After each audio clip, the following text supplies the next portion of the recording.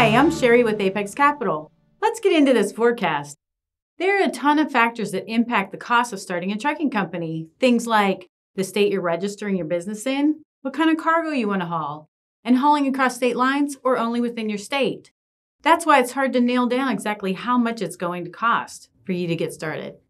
What we can tell you is that most trucking companies spend between $10,000 and $20,000 to start a trucking company. Before you let that scare you off, let us break down where all that money goes. The first costs you need to be prepared for are these required filings and registrations to get your trucking company started. When forming your company, costs vary. Obtaining your EIN, that's free. You want to obtain your authority, it's about a $300 charge. File your BOC 3, that costs $50 or more. You want to get insured. The initial down payment for insurance is between four and six thousand dollars per truck. File your UCR. Again, those costs vary as well. File an IRP, five hundred to three thousand dollars per truck. Additional authorities and permits, those costs will vary. And you'll want to register with IFTA.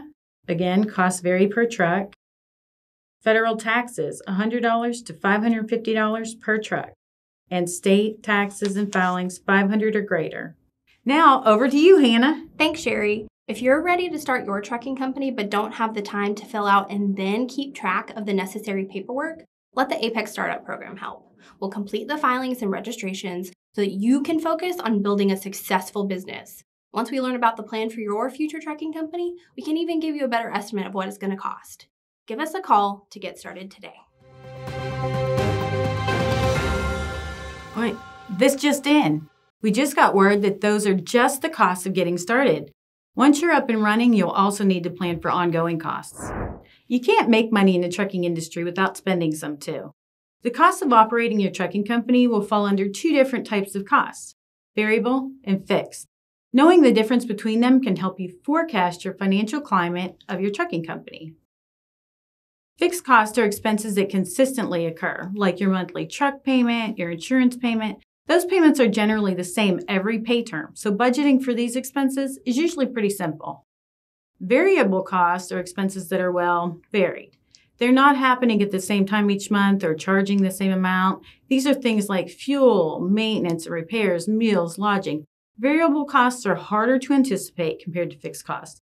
But after operating a few months, you should be able to estimate your variable costs pretty easily. Is all this information making you feel like you got caught out in the rain without an umbrella? Don't worry. If you budget and prepare for a trucking company, you have a better chance at saving for a rainy day. You might not be able to predict the weather, but if you know the cost per mile and operating ratio for your trucking company, you can predict your trucking company's profits.